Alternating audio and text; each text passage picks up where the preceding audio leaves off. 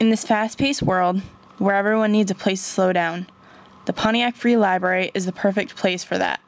Located in the historic Pontiac Village, this transporter to a simpler time is a great place to wind down and check out a book. The Pontiac Free Library Association has been around for 126 years. It was first established on September 18, 1884, when the Pontiac Mills were still up and running. The Pontiac Free Library Association, in its earliest form, existed in a one room schoolhouse located next to the mills on Knight Street. It housed over 600 volumes, which were available to the residents of the village. Then, in 1932, the Pontiac Free Library Association moved its headquarters to a renovated store on Greenwich Ave. Finally, on February 10, 1957, the final building in which the library is housed in now was dedicated and then opened to patrons the very next day. Well, I started working here at the library in October 2001, so I've been here for nine years now um, at this library, and it's been a great experience. I really enjoy working here. I've been coming to the library for about 10 years. My parents have brought me ever since I was younger.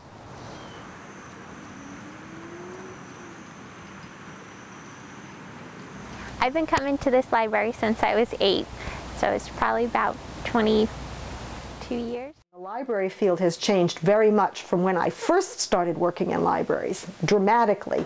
Um, computers have made the biggest difference.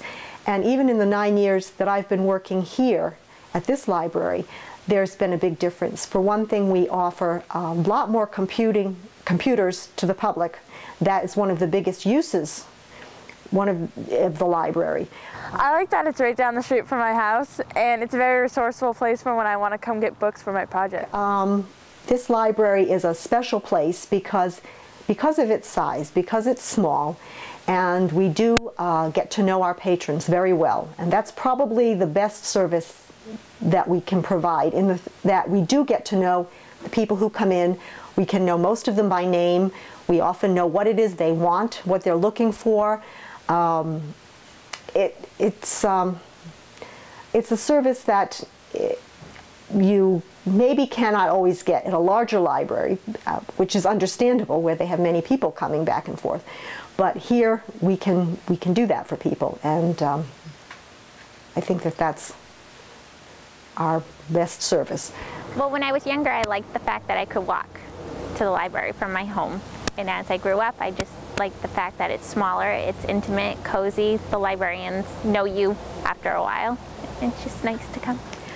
Well, this neighborhood, this library is um, not just a neighborhood library. It does serve, of course, the people who live in the neighborhood, but there are many people who come to the library from surrounding neighborhoods, and um, I think we mostly it's word of mouth. People hear about us from somebody who likes the library. They come in, they try it, they like it too, and. Um, I don't see a lot of people coming in from generation to generation because people seem to have moved on. There's a lot of transition in the area. I do see neighborhood children who will come in on their own if they're old enough to come to the library, or people who live within walking distance walking to the library. But, um, but it is definitely, it's just people hearing about it from other satisfied library patrons, mostly, that how we get our patrons. So why not slow down from this busy world and stop by the Pontiac Free Library?